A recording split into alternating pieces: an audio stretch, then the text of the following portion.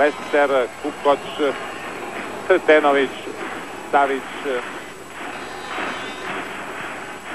i Terasović. Naravno Noris i Solo Zabao. Odgurnu Sretenović, Terasović sjajan u Lester i Noris. Priskočio je u pravom trenutku Toni Kukoć. 9-8 je.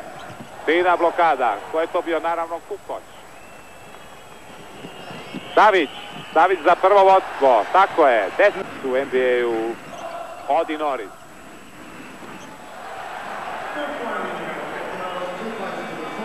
Do isteka napada. Sretenović se malo kad odlučuje na trice, ali kada on gađa Eto prve trice, povoljan e, ponaše.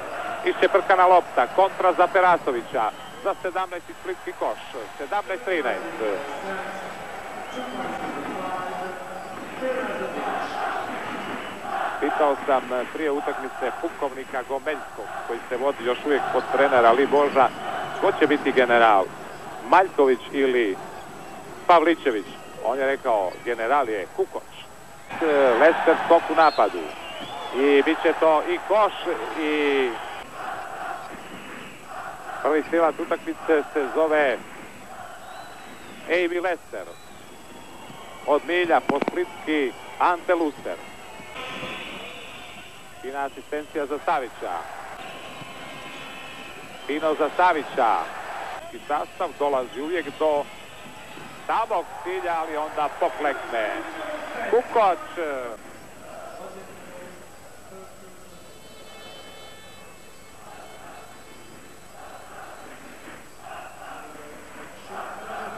Se čuva Montero.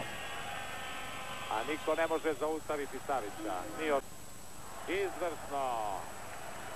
3 na 1. Opet 10 prednosti za zadnje. Kukoć i Perasović. U drugom polovremenu 42-35 vodi Pop 84. San Epifanio. Sretenović, kada je najvažnije, tu je uvijek. Pasavića, Pop 84 vodi sa 48-41. Sasvim zbog svoje nesebečnosti, borbenosti i trener Pavličević pravo mu je dao šansu. Pavličević.